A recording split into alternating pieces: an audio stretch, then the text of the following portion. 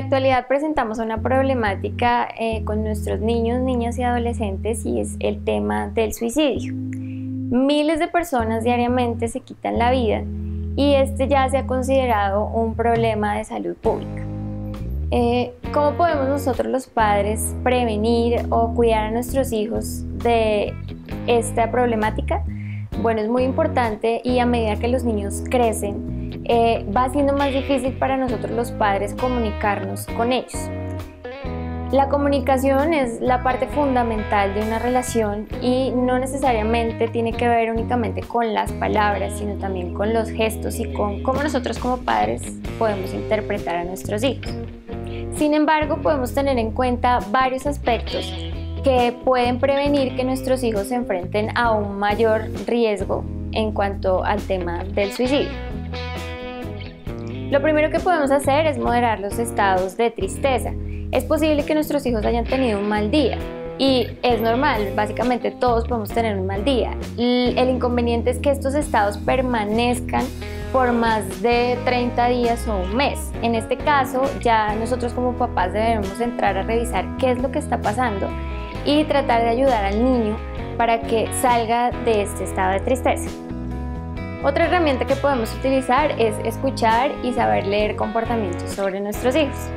Muchas veces en el afán del día a día nuestros hijos vienen a buscarnos para hablarnos sobre algo y nosotros sencillamente estamos como en un piloto automático que escucha una pequeña vocecita aquí y al final terminamos asintiendo con la cabeza sin realmente prestar atención a qué es lo que nos está queriendo comunicar el niño en ese momento.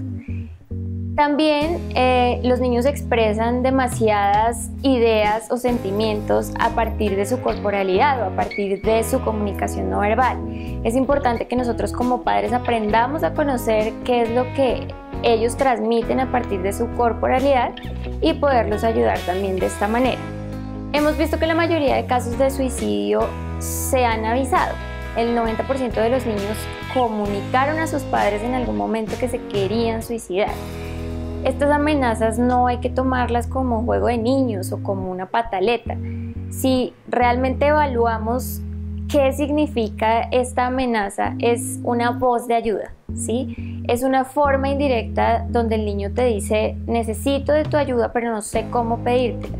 Así que cuando el niño realiza una amenaza de este tipo, es muy importante que tengamos especial cuidado y pidamos ayuda de un profesional. Este punto también de buscar ayuda es muy importante. Muchas veces dejamos que este proceso de estados de ánimo que fluctúan y ya no son propios de la adolescencia eh, lleguen a intentos suicidas. ¿sí? La idea es no dejar que esto pase porque es mucho más difícil poder recuperar a un joven que ya ha tenido un intento suicida, a una persona que hasta ahora está empezando, por decirlo así, con estados depresivos que lo quieren llevar, digamos, a, a terminar con su vida.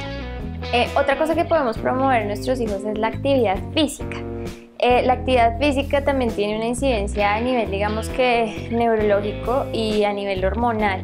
Y esto ayuda a que obviamente la distracción y, y todo el tema pues químico que se da en el cuerpo ayude a dispersar, digamos de alguna manera, esos sentimientos de querer acabar con su vida y también conecta a la persona con otras redes de apoyo ya no está tan solo, sino que también tiene, eh, por decirlo así, a su instructor o a su compañero de fútbol, que también puede darle, digamos que un apoyo en el momento que lo requiera.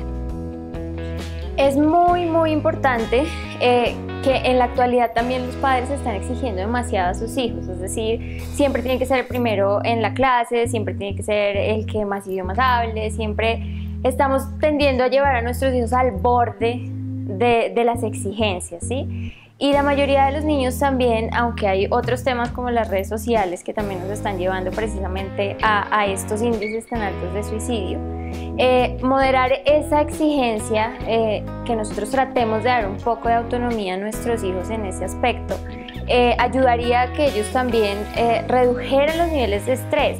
La adolescencia es en sí misma una etapa muy difícil para los jóvenes porque están buscando la manera de agradar están buscando la manera de rendir académicamente y de ser un muy buen hijo. Entonces, ya en sí está cargada esta etapa de grandes responsabilidades, más la carga de ser un gran estudiante, un gran niño para sus papás. Entonces es importante que nosotros como padres tratemos de bajarle un poco esas exigencias y darle un poco más de autonomía a nuestro adolescente.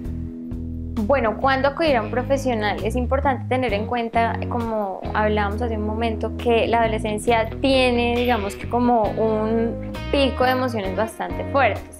Es normal, entre comillas, ver a una persona o a un adolescente que llore para expresar las rabias, esté irritable, no quiere hablar con nadie, no quiere ir a las reuniones familiares y eso está, digamos que dentro de lo normal. Lo que ya empieza a, llamar más la atención y lo que nosotros como padres deberíamos tener especial cuidado es el completo aislamiento, ¿sí?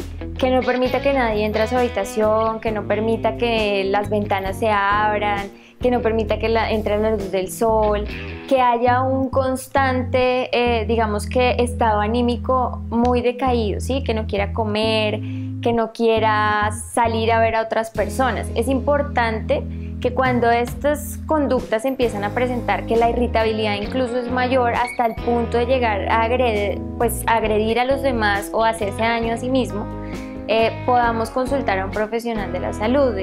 En Colombia, por ejemplo, existen muchas líneas a las que nos podemos comunicar o a profesionales pues ya de entera confianza de la familia que puedan ayudarnos precisamente en este caso si es el punto de una terapia psicológica o si por el contrario ya tenemos que hacer una consulta psiquiátrica.